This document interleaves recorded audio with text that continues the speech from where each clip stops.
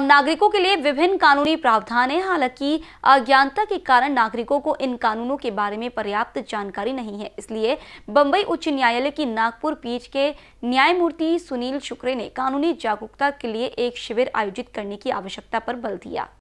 अखिल भारतीय जागरूकता अभियान के तहत नागरिकों का सशक्तिकरण और हक हमारा तो भी है।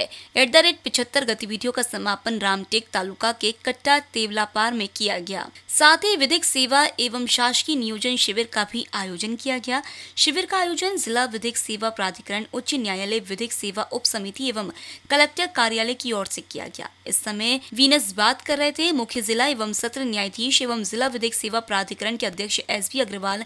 इस अवसर पर कलेक्टर विपिन इटनकर, नागपुर ग्रामीण पुलिस अधीक्षक विजय आनंद सिंगुरी, महाराष्ट्र राष्ट्रीय विधि विश्वविद्यालय की कुलपति विजेंद्र कुमार सहित कानूनी विशेषज्ञ अधिकारी कट्टा देवलापर के नागरिक मुख्य रूप से उपस्थित थे। जिला प्रशासन एवं जिला विधिक सेवा प्राधिकरण के माध्यम से विधिक सेवा एवं शासकीय योजना महाभिमारा की बहुत अच्छी गतिविधि का आयोजन किया गया। कैमरा पर्सन राजकुमार मोहर के साथ अभिषेक पांसी बीसीए न्यूज़ नागपुर।